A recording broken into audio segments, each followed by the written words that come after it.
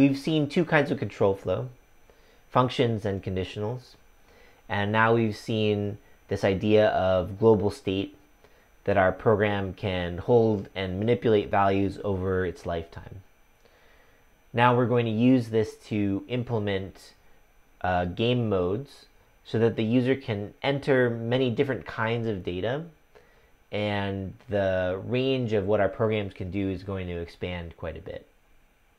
We're going to use what we just learned in this simple example of red-green and implement it into our dice game so that we can have the user enter their name and the program keeps track of their name as the user plays the dice game. I loaded our script.js from the dice game back into VS Code. So now let's talk a little bit more about how we want this to work we said that the user will be able to enter their name. And so that suggests that actually there's two modes in this game. One where the user is able to enter their name, and the other mode where they're able to play the dice game. And so we need a global variable for that that keeps track of the mode. And we're also going to use their name later when they're playing the dice game, so we need a global value for their name as well. So first let's create the global value.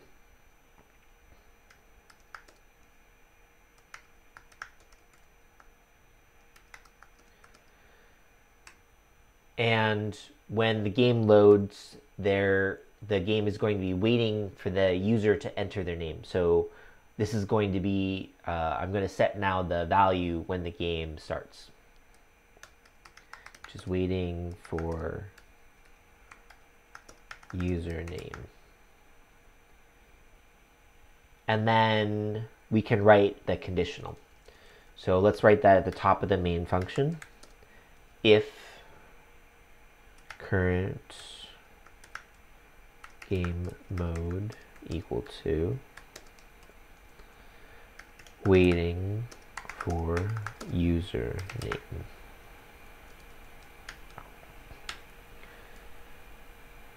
And what we want to have happen here is set the name.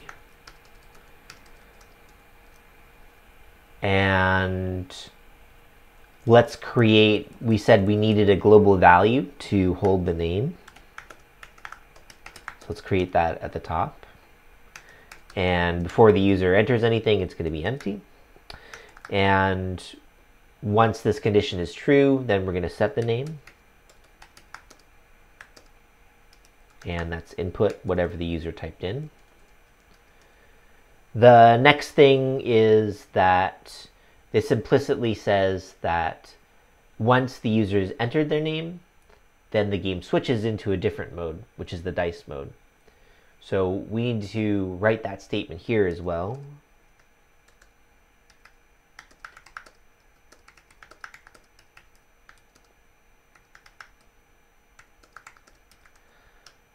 which is that current game mode is equal to the dice game mode. So I'm just going to call this dice dice game. Okay. And then I'm going to write an output message to the user. So my output value equals to hello username. Okay.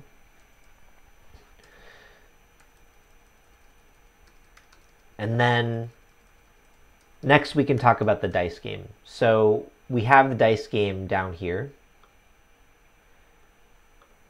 And if the current game mode is the other mode, not waiting for user, if it's dice game, then we want to run this code. So we might write a condition like this.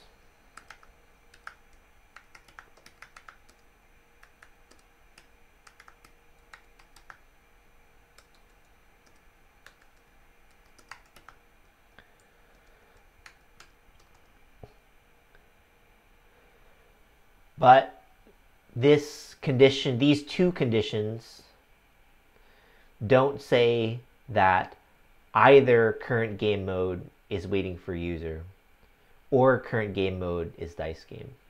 So we need a slightly different construction if we want to express that exact thing. This current condition says do this if game mode is waiting for user. And on line 17, starting on line 17, it also says if game mode is dice game. So we want an explicit way to say either do the set the username or do the dice game. One or the other. Uh, and this current conditional construction doesn't say that. The conditional construction that allows us to be explicit about either one thing happening or another is else else if. And this gives us the ability to say either one, run one block of code or run the other block of code. So let's implement else if in this logic. What I'm going to do is move this if over here. And now what this code says is that either this block here is going to run or the block over here is going to run between those two curly braces. And there's no possible way that both blocks are going to run, which was the case in the previous code. I've moved my dice game into the else if conditional. I only need to fix one more thing in this code, which is that I've mentioned my output value inside of line 14, but the only place where I've created my output value variable is on line 19.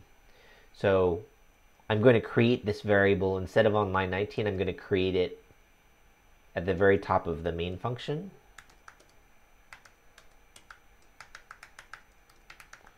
And it's going to start empty.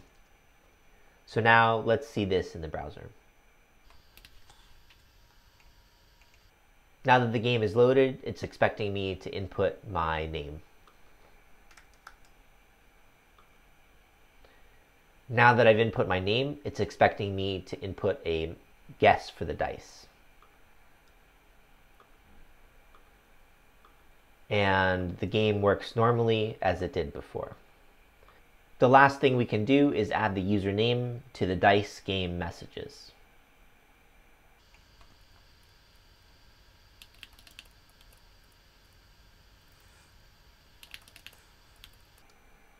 Let's see this in the browser.